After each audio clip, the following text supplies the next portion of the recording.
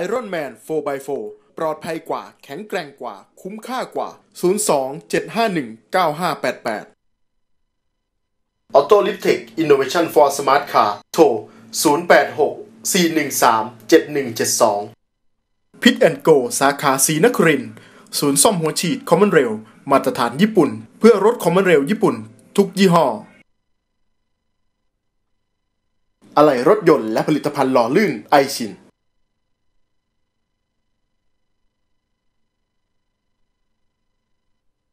พิท แอนโกสาขาสีนครินศูนย์ซ่อมหัวฉีดคอมมอนเรลมาตรฐานญี่ปุ่น เพื่อรถคอมมอนเรลญี่ปุ่น ทุกยี่ห้อ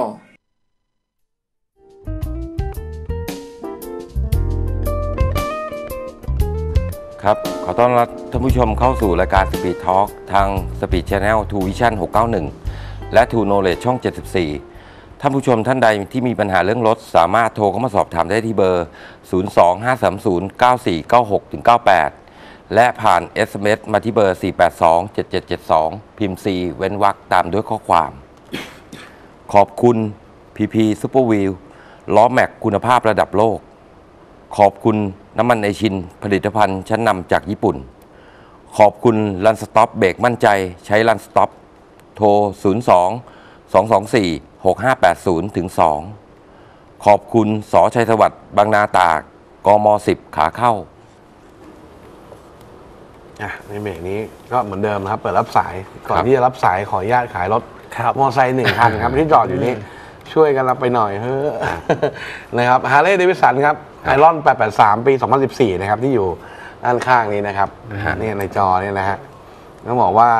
คันนี้ตั้งขายอยู่ที่ 5 3 0 0 0นะครับ ของแต่งนี่เป็นแสนเกินแสนนะครับ เพราะว่ามีท่อกล่องกองท่อแวนไฮนะครับ กล่องสกิมมิ่งเกิลกล่องก็เป็นซูเปอร์เลส คือท่อกล่องกล่องครบแล้ว รวมทั้งชกหลังเป็นโปรเกรสซีฟรวมทั้งเบาะที่เป็นของแต่งโรเลนแซนนะครับพักเท้าแต่งฝาถังน้ำมันแต่งอย่างที่เห็นนะครับ ครับ แล้วก็มีครอบไฟหน้านะครับรถสภาพสมบูรณ์ไม่เคยมีอุบัติเหตุนะครับคันนี้ไม่เคยล้มนะครับ แล้วก็รถศูนย์นะครับวิ่งหมื่นโลนะครับคันนี้นะครับแลกคอ1 HD ไม่ได้มีปัญหาแต่อย่างใดปัญหาตรงที่คันมันเล็กไปสำหรับคนขี่ ก็เลยจะเปลี่ยนรุ่น รุ่นใหม่ รุ่นที่มันใหญ่กว่านี้นะครับ ขายคุณผู้ชมที่ราคา5 3สนใจก็ติดต่อเข้ามาในรายการได้เลยนะครับ ครับ SMS ก็ได้เดี๋ยวติดต่อกลับไปเองนะที่คผรับ มเห็นอยู่เนี่ยสภาพสวยมากครับ นะครับ ไม่เคยล้มแปะเลย ไม่เคยไม่มีล้มแปะไม่มีอุบัติเหตุรถครับเครื่องสมบูรณ์ทุกอย่างนะครับ เช็คศูนย์ตลอดนะครับ ไม่หมื่นโลนะครับคันนี้ไม่ได้เยขอะองครับ ของแต่งก็คุ้มแล้วฮะ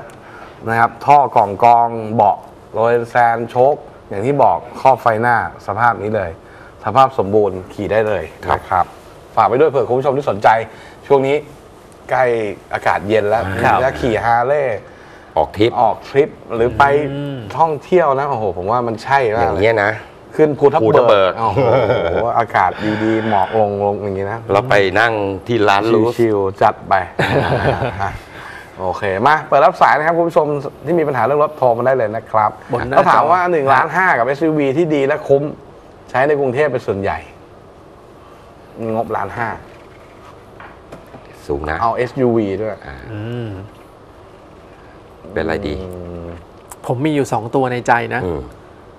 อ่าฮะ นึกไม่ออกเอานึกเอาได้แต่ PPV ตอนครันี้บที่ชัดเจนที่สุดนะอืม ก็มันก็ SUV นี่แหละ ครับจริงๆมันก็คือ SUV นี่แหละ ก็ VX ของ VX ถ้าเป็นอะไร ผมเนี่ยผมเอา XV STI เลยนะครับ อ๋อใช้ในเมืองนี่หล่ออืม XV ๆนะครับอใช่ยู่ในงบ แล้วอีกคันนึงก็คือ CX5 ดีเซลขับ XV เหลือเยอะด้วย2ใช่ XV ไม่ได้ราคาแค่ล้านล้านต้นๆเองอะก็ถ้าเป็นตัว STI STI มันราคาเท่าไหร่ผมไม่แน่ก็ใจอ่าเปิดประมาณล้านสี่กว่า อ๋อล้านสี่กประว่ามาณอ่าฮะอ๋องั้นก็จบนะ เพราะว่าได้รถครับจบแต่งมาแล้วโดยซูบารุฮะนะครับ ก็ใช่อ่า STI ก็จบในงบครับนี้มาด้า CX5 ดีเซลขับอืม2นะฮะอันนี้ก็คือเน้นขับหน่อยใช่เน้นอาจจะมีกรุงเทพก็จริงแต่ว่า อาจจะออกรอบบ้างเสาร์อาทิตย์ไปชะอำหัวหิน อืม พัทยานะครับหรือเขาใหญ่ อืม ประหยัดด้วย ใช่เพราะเมื่อกี้เขาบอกใช้ในเมืองเป็นหลักฮะครับ ก็ใช้แค่นี้พอแล้วใช่ ได้เลยฮะนะครับครับ อ่ารับสายคุณวัดครับ สวัสดีครับสวัสดีครับครับครับ ครับสวัสดีพี่พี่ทั้งสามครับ ฮะเออเป๊กผมผมอยากถามนี่หน่อยอะ ผมใช้รีโวตัวท็อปนะครับ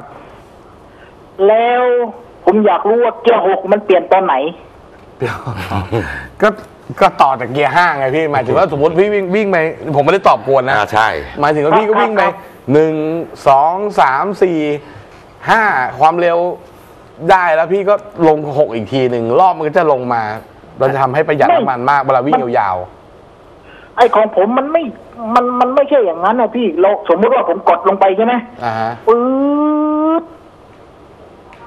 ไปถึงร้อยสี่แล้วมันก็ยังไม่ขึ้นเกียร์หกพี่ ผมต้องยกยกยกเท้าขึ้นจนสุด เดี๋ยวก่อนของพี่เกียร์ธรรมดาเหรออโต้ครับออโต้ ออโต้ใช่ไหมครับ อืมพี่จับจังหวะแน่ใจว่าจับจังหวะมันครบตั้งแต่ออกตัวจริงๆเกียร์ก็เปลี่ยนปกตินะฮะ จริง ๆ คืออย่างนี้ครับผมผมเรียนให้บางทีหลายท่านอาจจะงงว่าเอ๊ะทำไมไม่เข้าเกียร์หกสักทีอ่ามันจริง ๆ มันมันครับตอนต้องเข้าเรียนอย่างนี้นะครับเกียร์หกของรถยุคใหม่เนี่ยมันเป็นเกียร์ที่ overdrive ต่ำมากใช่คือเขา overdrive ตั้งแต่เกียร์ห้าแล้วอืมอ่าฮะนะครับก็คือเป็นเกียร์ขับประหยัดเกียร์หกคือต้องประหยัดจริง ๆ แล้วรอบไม่สูงมากคันเร่งไม่ลึกอืมนะฮะถ้าจะทำลอยๆตัวลอยตัวไปแล้วอ่าถ้าสมมติพี่ยังเร่งอยู่จะให้มันเข้าเกียร์หกมันไม่เข้ามันอยู่แค่พราะเกียร์ห้าเพราะเขาคิดว่า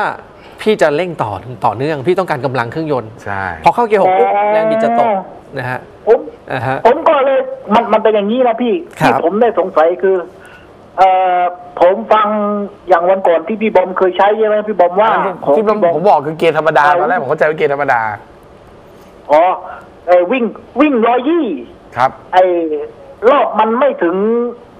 ไม่ถึงสองพันเนี่ยพี่ใช่ใช่ แต่ของผมผมวิ่งร้อยยี่ทำไมรอบมันสองพันนิดๆผมก็เลยงง แล้วทีนี้ผมก็เลยลอง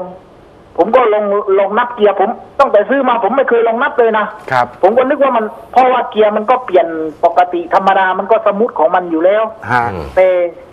พอทีนี้ผม ผมลองขับ ผมลองใช้ ผมกดลงไปร้อยสี่แล้ว มันก็ยังไม่เปลี่ยนเกียร์หกพอผมยกเท้าพี่นะพอพอผมยกเท้าขึ้นครับ พอผมยกเท้าขึ้นแล้วค่อยแตะใหม่ มันถึงจะเป็นเกียร์หกใช่ก็อย่างที่พี่เอ็กซ์บอกเมื่อกี้ไงคือมันเกียร์หกเนี่ยจริงๆแล้วสมัยเอาอย่างนี้ก่อนสมัยก่อนมีแค่ห้าเกียร์เกียร์ห้าก็จะเป็นเกียร์ที่เป็น overdrive เป็นอัตราทดสูงเอ้ยอัตราทดต่ำมากครับเพื่อให้มันประหยัดน้ำมันแล้วก็รถมันลอยตัวแล้วไม่ได้ใช้กำลังอะไร เกียร์หกก็เหมือนกันตอนที่ตอนเนี้ยที่เขาผลิตออกมามาหกเกียร์เจ็ดเกียร์เนี่ยเกียร์หกก็ต่อจากเกียร์ห้าเพราะมันก็เป็นเกียร์ที่สำหรับวิ่งทางไกลแล้วก็เน้นประหยัด นะครับเมื่อไหร่ที่เราเร่งแซงแน่นอนเกียร์ออโต้เนี่ยโดยปกติก็เขาสั่งการให้เกียร์มันต้องลดลงมาเกียร์หนึ่งอยู่แล้ว แต่ถ้าเกิดพี่ครับกดคันเร่งเต็มเนี่ยลากไปเรื่อยหนึ่งสองสามสี่มันก็จะไปค้างอยู่เกียร์ห้าปกติอยู่แล้วขอเสริมนิดนึงครับ อยู่ต่างจังหวัดหรือเปล่าครับเอ่อก็หมายความว่าปกติใช่ไหมพี่ครับปกติไม่ได้เป็นอะไรพี่ไม่อยู่อยู่ต่างจังหวัดหรือเปล่าครับ อยู่กระบี่ครับกระบี่อ่าโอเควิ่งทางยาวๆอยู่แล้ว ถ้าถ้า ต้องลองดูนะอืมคุณขับรถไปเรื่อย ๆ เลยนะ วิ่งประมาณสักครับ2,200 รอบแบบแล้วคุณก็ปล่อยให้มันเปลี่ยนเกียร์อืมมันจะเปลี่ยนเกียร์เลยใช่นะฮะเพราะว่าอะไรเพราะว่าเกียร์เนี่ยถ้าเราวิ่งไปเรื่อยๆ แล้วความเร็วมันคงที่ฮะมันจะเปลี่ยนเกียร์ให้เราครบใช่แต่เมื่อไหร่เรากดคันเร่งไปเรื่อยพี่ต้องกดคันเร่งไม่ไม่ถึงคันเร่งประมาณสักยี่สิบเปอร์เซ็นต์ๆอ่า ประมาณถ้ากดคันเร่ง2,200รอบลึกกว่านี้ฮะ มันก็จะไม่เปลี่ยนเพราะมันก็จะลากรอบสูใช่งอยู่ มันจะลากรอบเลยฮะ เมื่อสมัยก่อนเนี่ยมันจะอ๋ออ่าแสดงว่าพี่เป็นคนเท้าหนัก ลึกลึกฮะ กดลึกไป เดินลึกผมนะไม่ใช่เท้าหนักธรรมดาผมก็วิ่งไม่เกินร้อยยี่สิบอยู่แล้ว อ๋อ แต่ว่านั่นน่ะผมผมผมคือยังไงอะผมอยากไม่เครู้ย ลองดูก็กดไปเรื่อยๆเลยมันก็ไม่ยอมเปลี่ยนผมว่ามันวิ่งร้อยยี่ทำไมรอบมันไม่ถึงสองพันของผมทำไมมันเกินสองพันมันหลง ผม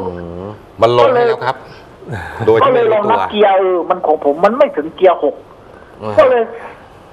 กดลงไปกดยังไงมันก็ไม่เปลี่ยนก็พี่ยิ่งกดลงมันไปก็นะยิ่งกดยังไงมันรอบไม่ก็เปลี่ยิ่งมาวิ่ไปถึงร้อยสี่ร้อยพี่ลองห้าลองปล่อยก็ไม่เปลี่ยน แตะแตะคันเร่งไหลๆเกียร์อย่างที่เฮงหอบอกเนี่ยฮะ ความเร็วร้อยยี่นะนะแต่คันเร่งแบบแตะไหลๆไหลๆไปถนนโล่ง ๆ แล้วเดี๋ยวจะมันจะเกมก็เปลี่ยนให้เอง สมัยก่อนเนี่ยมันจะเป็น 4 เกียร์ใช่ สามเกียร์บวกโอเวอร์ไดครับ เสร็จแล้วพอมันลงที่โอเวอร์ไดปุ๊บ มันจะมีล็อกอัพ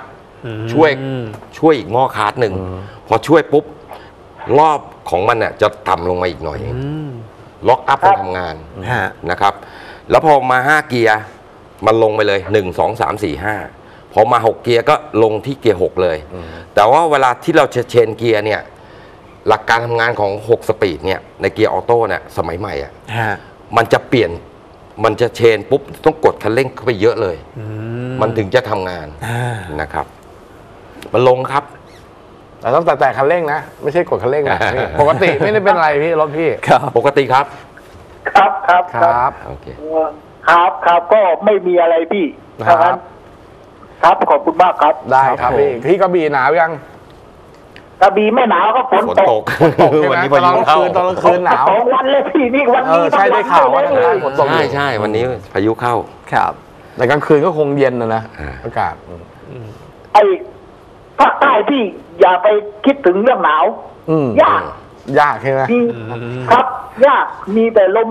แค่ลมว่าวลงลมว่าวครับ อบ้านผมเรียกลมว่าวลมทะเลมีลมว่าวอ่าอ่าอ่า ครับ มันก็เลยเออมันแห้งๆขึ้นเท่านั้นเองไอ้ใช่ หนาวไม่ค่อยหนาวหรอกหนาวแต่ตอนหัวรุ่ง อ่าอืม อ๋อหัวรุ่งก็ตอนดึก ตอนเกือบเช้าอืม ครับครับใช่ใช่ครับได้ครับพี่ครับเอาขอบคุณมากครับ โอเคครับขอบคุณครับ ครับ ครับเนี่ยพี่น้องทางใต้ดูเราเยอะนะครับเยอะจริงๆมาแล้วก็เป็นแฟน Speed Channel Speed Talk เราเยอะมากทางใต้ จริงๆแล้วภาคอื่นก็ไม่แพ้กัน ฮะ แต่ว่าเราเราลองประเมินจากสายที่โทรเข้ามานะครับ ส่วนใหญ่ก็จะเป็นสำเนียงทางใต้เยอะใช่ ที่เท่าเท่าที่ได้คุยก็แสดงว่าดังนั้นก็ต้องขอ ก็ดีใจนะ ขอเสียงภาคเหนือหน่อย มีภาคเหนือก็มีครับ ภาคเหนือก็มีคน มีแฟนรายการที่โทรเข้ามาโทรจากสายเชียงใหม่นี่ก็ดูประจำเราอยู่ฮะนะครับจริงๆ ถ้ามีแบบเวียงจันทร์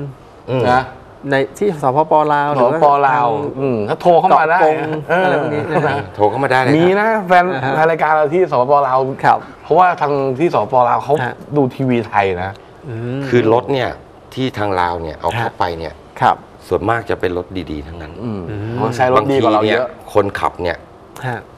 เออไม่ใช่คนขับคนซ่อมเนี่ย ยังไม่ถึงอืม ก็โทรเข้ามาสักอ่ มาถามมาสอบถามว่าครับใช่แนวทางในการซ่อมยังไง จะซื้ออะไรที่ไหนเยอะแยะไปที่เขาเอารถมาทำที่ฝั่งไทยก็เยอะแยะอ่านั่นแหละครับ ใช่ใช่อะ มาดูเรื่องราว SMS กันฮะฮะซีวิกจอดทิ้ง 4 ปี ผู้เล่ตาย ซ่อมไงดีงบประมาณเท่าไหร่ แล้วรู้ได้ไงว่าผู้เล่ตาย ผู้เล่นตายหรือเครื่องเครื่องติดเครื่องน่าจะเป็นลูกสูบติด เครื่องเครื่องไม่หมุน เครื่องไม่หมุนจ อดทิ้ง4ปีมันก็ไม่ซีวิกเหรอเอาอย่างนี้นะจมฮะน้ำหรือเปล่าเนี่ย อืมคือต้องเราไม่รู้ว่าไปจอด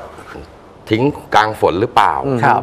เอากุญแจเนี่ยเบอร์สิบสิบเจ็ดหรือเบอร์สิบเก้าขันมูเล่ออกมา ใช่ค่อยเขาลองๆขัหมุนออกมาเขาลองหมุนเครื่องดู ฮะฮะ แล้วก็ถอดไอ้หัวตรงหัวเทียนออกมา ครับแล้วก็หยอดน้ำมันเข้าไปหน่อย อ่า พอหยอดน้ำมันเข้าไปครับแล้วก็ขันขันขันขันให้มันคล่องก่อนใช่ นะครับ นี่คือวิธีการ ของสไตล์พวกเรโทรทั้งหลายที่เป็นหมุนเครื่องเก่าเลยนะใช่ครับ อย่างแรกเขาไม่สตาร์ทครับเพราะมันไม่มีแบตใช่สตาร์ทไม่ได้ด้วยสตาร์ทกันก็ไม่ติดเพราะน้ำมันไม่มาอ่าก็ต้องใช้อย่างที่เฮียหมอบอกแหละหมุนที่เพลาข้อเหวี่ยง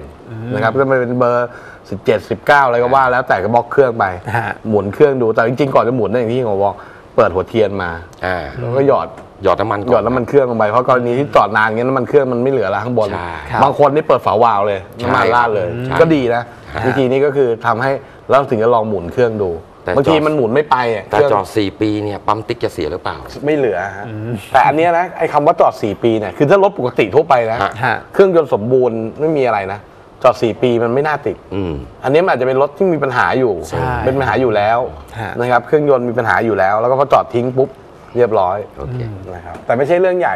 บางทีแค่อย่างที่บอกเนี่ยครับ หยอดน้ำมันหรือว่าให้ช่างที่ที่รู้เรื่องหน่อยนะ อ่า ก็สามารถทำแล้วก็ไม่ต้อง